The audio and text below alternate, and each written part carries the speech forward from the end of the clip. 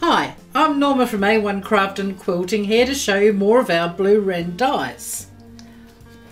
Now we had a request from someone with a small cutter wanting to cut a 9 inch circle. We thought, nah, can't be done. Then we thought, maybe it can be. We have a way. We have made magic circles. We have 6 inch, 7 inch, 8 inch and 9 inch circles. Now, they also cut semicircles. I will show you how these work. This is what they look like. We have the 9 inch. It is a circle, believe me. 8 inch and 6 inch. I have the 7 inch and I'm about to show you how it's done. Start with a length of fabric that you want to cut into circles. Now the die has, along here, has got a blade. We're not going to use this for this particular thing. It already has an etching on there for our circles, not for our semicircles at this stage.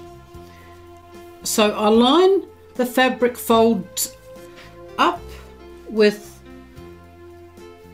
that etching. So we'll just fast forward this a little bit. I have pre-pressed this, you don't have to, but I did that just to speed up this video. You can finger press if you like.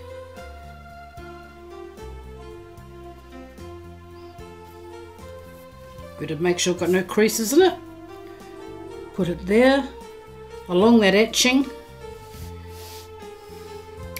So I put a mat on top. Now when I use this machine it needs a shim. Two of our mats make the ideal shim for this machine. The little fella doesn't need a shim, just a mat on top. Now if we put one mat on top, two mats on top or three mats on top, it doesn't matter. And so we put it through the cutter.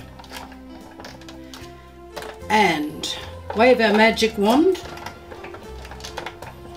Voila.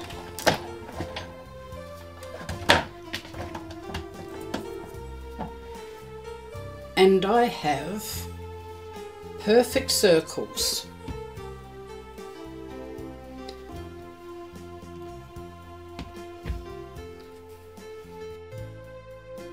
They are perfect.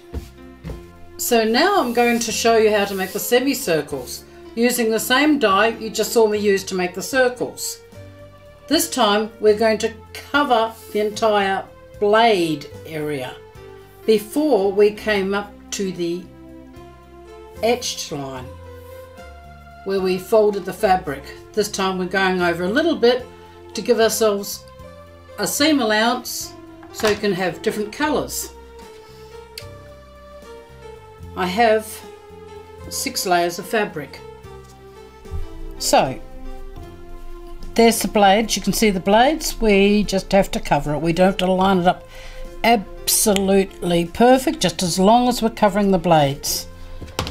Again, we use our mats, whichever way we wish. This time I think I'll put one underneath, just to be different.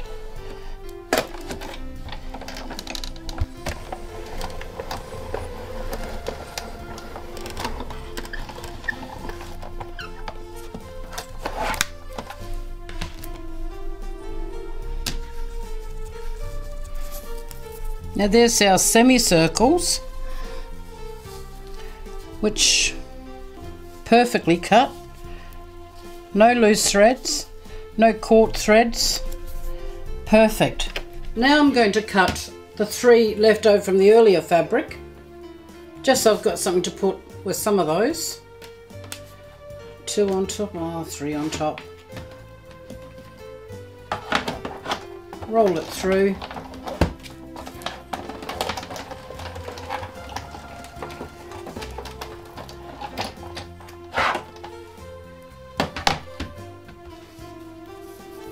And once again another three.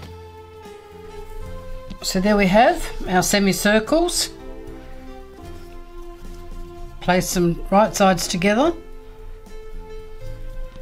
And sew a quarter inch seam. Here it is sewn and pressed towards the dark side. If you have a need for circles and they are identical, absolutely perfect, you can mix and match.